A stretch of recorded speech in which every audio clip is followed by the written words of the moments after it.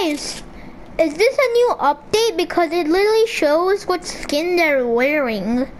Like for this guy, it says he's wearing the dream skin.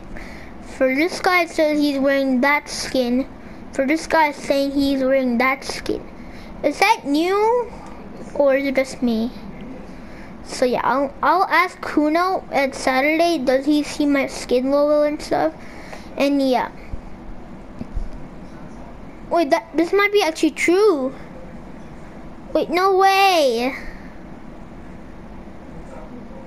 Kuno 2019, it doesn't show what skin he's wearing, but for uh this guy, it says uh, the the customizable skins for my alt account. It says the, that skin, and for this guy, it says Superman and for this guy it says the um chapter 6 and for this guy it says that skin and for circuit it says